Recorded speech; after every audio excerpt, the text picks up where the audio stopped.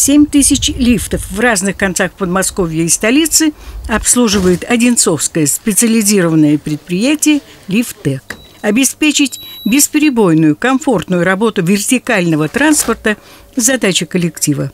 Кропотливый труд электронщиков легким не назовешь. С каждым годом число производителей лифтов увеличивается. Техника сложная. Авторы, как правило, не раскрывают своих ноу-хау.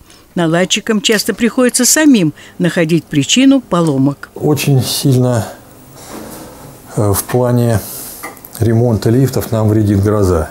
К сожалению, последние дома, которые сейчас строятся, и строятся очень быстро, плохо или практически не снабжены системой громоотводов, молнии защиты. И каждый, каждая гроза приносит нам очень-очень много неисправностей, неисправностей палетов. Причем таких неисправностей, что некоторые из них восстановить просто невозможно, просто прогорают полностью платы. Но, к сожалению, пока как-то заказчики на это смотрят так, сквозь пальцы, скажем так, никого это не сильно не волнует, хотя убытки и они несут, и, и мы несем довольно значительные. Для интервью воспользовались короткими минутами отдыха. Когда, допустим, на столе вместо двух-трех плат, как, обычно бывает, 25-30, вот это, это уже экстраординарно. И приходится как автомату работать. Уже к концу смены практически, ну, да, как... уже. Уставший уже. Уставший это не то слово, прострацию теряешь, уже делаешь на автомате только. Уже голова сам не думает, только руки вот так.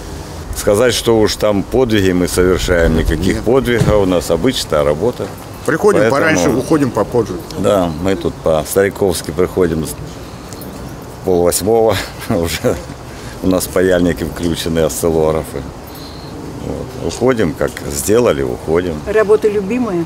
Да, я, в принципе, всю жизнь занимаюсь э, электроникой, поэтому для меня это как для рыбы вода. Рыба в воде. да. Генеральный директор, отчаянный оптимист, считает, что с вызовами погоды его коллектив справится успешно. Очень много гроза натворила бед, очень много сгоревших плат, диспетчерской связи, лифтовых, очень много. Ну, когда заходили в нашу лабораторию, наверное, видели. Это вот все последствия грозы. Справились? Справились, справились. Ну, это каждый год бывает. Но в этом году, конечно, аномальная погода, поэтому чуть больше, чем обычно. Но мы готовы, готовы ко всему. В случае ЧП расстояние для настоящих специалистов не помеха. Каждый мастер имеет водительские права и в дорогу всегда готов. Галина Поликарпова, Денис Харламов, телекомпания «Одинцова».